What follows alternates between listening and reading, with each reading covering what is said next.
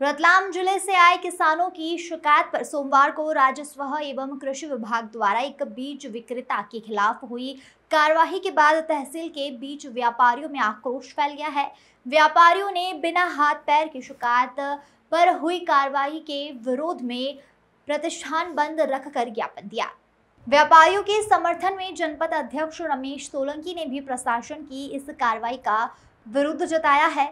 सोलंकी ने कहा कि कुछ संगठन के बाहरी लोग आकर यहाँ का नाम बदनाम कर रहे हैं। आपको बता दें कि सोमवार को एसडीएम अनिल राठौर को बाजना जिला रतलाम क्षेत्र के लोगों ने शिकायत की थी कि बीज विक्रेता द्वारा एमआरपी से ज़्यादा राशि ली जा रही है।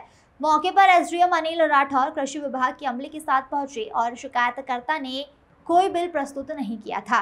केवल मौखिक बात पर हुई कार्यवाही में दुकान को सील कर दिया था तथा दुकान में रखे करीब एक लाख अस्सी हज़ार रुपए भी जब्त कर लिए गए। प्रशासन की इस कार्यवाही के बाद तहसील के बीज विक्रेताओं ने अपना व्यवसाय बंद रखकर विरोध दर्ज कराया कि बिना किसी सबूत के इस तरह की कार्यवाही न्याय संगत नहीं है।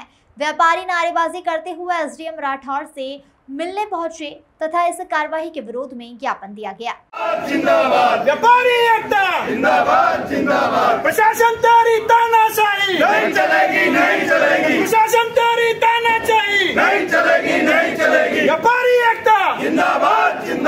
व्यापारी एकता। जिंदाबाद जिंदाबाद।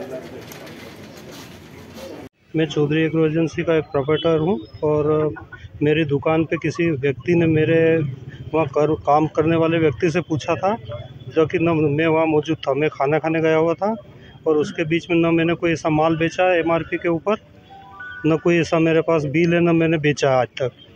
मेरा जो बेचा, जिना इन बेचा एम आर पी से ऊपर एक रुपये का नहीं बेचा। हमारे पास सत्रह सौ की एम आर पी का भी आता है, पंद्रह सौ की एम आर पी का एम आर पी से दस रुपये कम ही लेते हैं।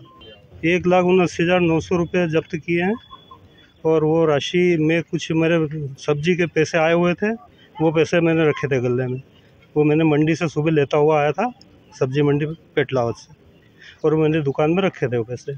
मेरी एक भी एसडीएम साहब ने न सुनी और पुलिस वाले के दबाव में मेरे काम करने वाले से भी ज़बरदस्ती बुलवाया गया कि मेरे से बोला, ऐसा कुछ हुआ नहीं, ना बेचा है न था। जी, कल एक शिकायत प्राप्त हुई थी कि एमआरपी से अधिक रेट पे बीज बेचे जा रहे हैं एक दुकान के द्वारा। तो हमने वहाँ पे कृषि की टीम को भी बुला लिया और वहाँ पे मतलब सीड इंस्पेक्टर थे। और उसके बाद वहाँ पे छानबीन करी गई तो वहाँ पे सबूत, दस्तावेज़ वगैरह मिले। और प्लस वहाँ पे जो काम करता था व्यक्ति उनकी दुकान पे, उन्होंने जो मालिक है उनके समक्ष ये बताया कि उन्होंने अधिक रेट में बेचा हुआ है। तो उसके बाद फिर कृषि विभाग की टीम के द्वारा जो भी विधि अनुसार कार्रवाई है, वो की गई। जो लोग हमारे पेटलावत के अंदर कभी बीज लेने आते ही नहीं हैं ऐसे लोग बाहर से आए और ऐसे लोगों ने बदनाम किया हम, जबकि ऑलरेडी करीब मेरे नॉलेज में है कब से काफ़ी समय से वो दुकान संचालन होता है वहाँ पे, और बीज भी बहुत बढ़िया मेरे यहाँ मेरे यहाँ भी बीज वहीं उसी दुकान से जाता है, जहाँ पे हमारा प्रशासन गया था वहाँ पे सील करने तो वो ठीक नहीं है। लिखित में कोई इस प्रकार की कोई शिकायतें नहीं थी जो करना चाहिए था।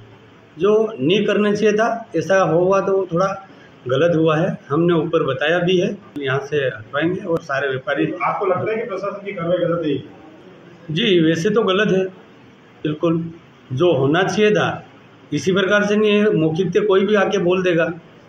सेव करने का अधिकार है प्रशासन को लेकिन इस प्रकार से सील करना ये ठीक नहीं है। गोपाल राठौर की रिपोर्ट।